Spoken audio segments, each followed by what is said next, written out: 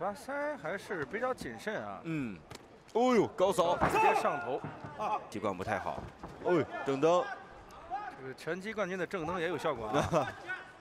走身手依然在。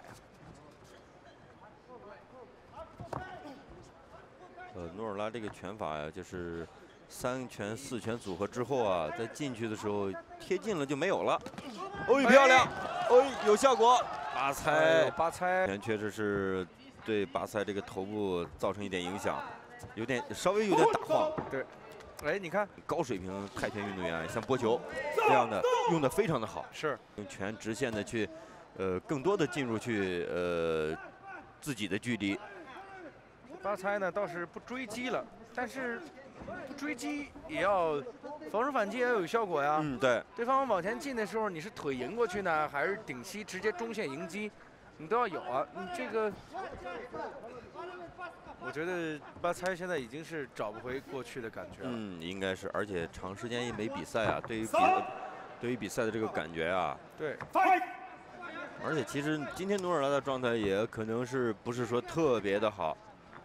但整体上，努尔拉至少是主动在去寻找寻找机会。对，巴猜呢就是，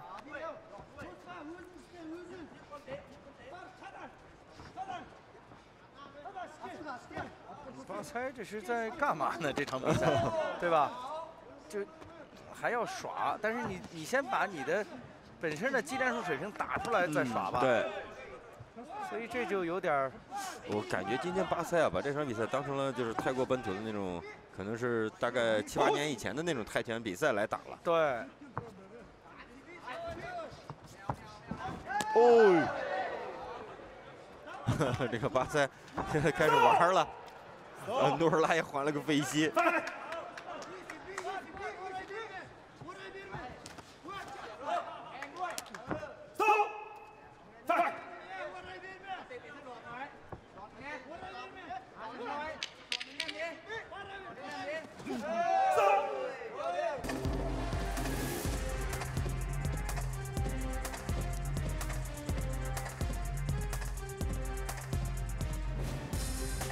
And a winner by 比赛结果，